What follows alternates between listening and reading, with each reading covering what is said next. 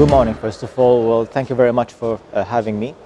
The idea behind the market dynamics at this uh, particular stage is uh, it's a very crucial stage for the uh, industry uh, in general and of course in the offshore industry in particular. Now, if you look into the uh, shipping and the maritime industry related to the oil and gas industry, we can see that the trend goes up and down basically based on the market strategies and the market dynamics.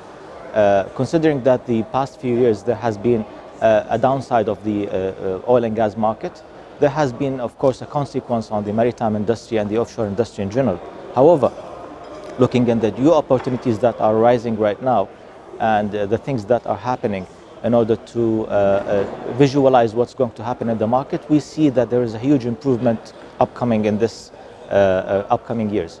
Uh, the idea is that uh, we can see that there is a lot of, uh, for instance, let's take ADNOC for instance, there are a lot of opportunities being created by ADNOC in terms of projects, new projects. In Aramco, we have also the same thing happening. So the region in general is uh, leading the market uh, into a, a, very positive uh, trend, making sure that we are getting into a better, you know, type of international exposure for this area and for this region. And you can see that it's attracting some other locations as well. Uh, some other market trends are, uh, are actually following up, like the uh, Southeast Asia. Uh, they are also following the market trends which are created by ADNOC. Well, uh, uh, first of all, the digitalization itself is always and will always be as an enabler to the industry. creating this kind of tool and process automation will definitely help into making sure that uh, we are getting the right uh, data and right statistics uh, to be able to uh, find the gaps and improve the quality of the products that we are going to deliver to our customers. Uh, take uh, an example, for instance, Marasi. Marasi has done a great job on making sure that they are visualizing their, you know, the, the, the type of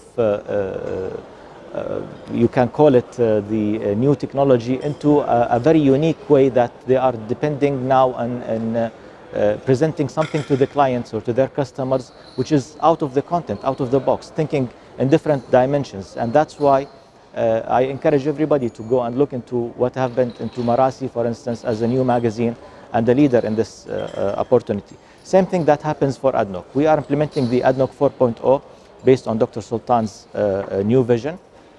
The idea was behind this was to try to create something which is called uh, a digitalization era, whereas uh, uh, process automation and uh, making sure that we are getting the right uh, contents and the right data, we analyze it and we uh, kind of build into our heritage of being a leader in this industry. to do so, ADNOC Offshore has adopted this very aggressively. We started with the real-time center for the drilling, as mentioned by our SVP uh, in yesterday's uh, uh, presentation. today, I'm going to be also speaking about the Logistics Excellence Center, which is also another way of implementing technology and implementing the new automation and digitalization and making use of this type of data analysis in order to create that dashboard which will be an enabler to our strategic uh, uh, partnership uh, uh, with, with the help of this kind of tool will definitely allow us to come uh, into a more advanced way of handling our business. Digitalization is a journey, and I believe that now it's the uh, right time to embrace this journey and uh, to collaborate all together in order to come up with conclusions uh, to support yourself and others in the means of how you are going to use that technology. Uh, the technology by itself, by the way, is not going to be only the only enabler. The human element that is behind this technology is very crucial for the industry. You have to train your people, you have to train your teams, you have to make sure that they are well familiar with the technology in order, in order to be uh, able to use it uh, as, uh, as a good example.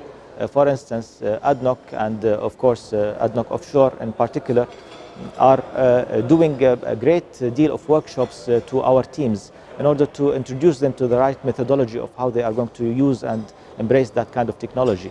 Otherwise, uh, if, if, the applications and the technology and the hardware and the software is available and the teams behind them, they are not competent enough to use them, in this case, we will not have the correct formula.